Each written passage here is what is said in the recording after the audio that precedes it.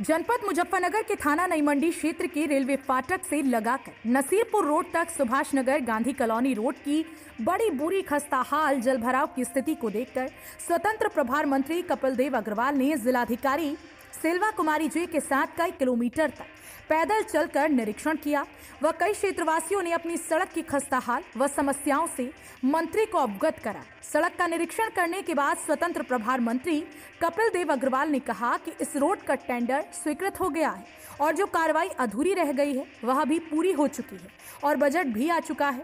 जिसका पिछली दफ़ा भी जिलाधिकारी के साथ मिलकर निरीक्षण किया गया था।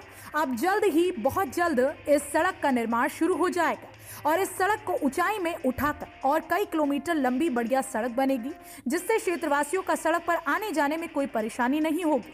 वह क्षेत्रवासियों की समस्या को देखते हुए तुरंत इस सड़क का निर्माण के आदेश अभी मैंने दे दिए हैं। जल्द ही सड़क का निर्माण शुरू हो जाएगा। वह सड़क निर्माण का जल्द ही शुरू होने पर क्षेत्रवासियों ने मंत्री व जिलाधिकारी का हार्दिक आभार जताया।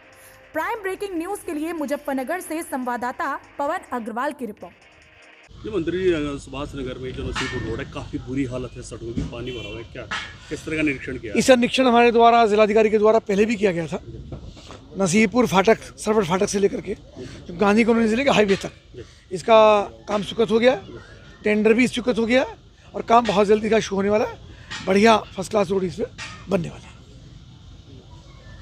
देश और दुनिया की तमाम खबरों से जुड़े रहने के लिए हमारा चैनल लाइक करें शेयर करें सब्सक्राइब करें और बेल आइकन पर क्लिक करना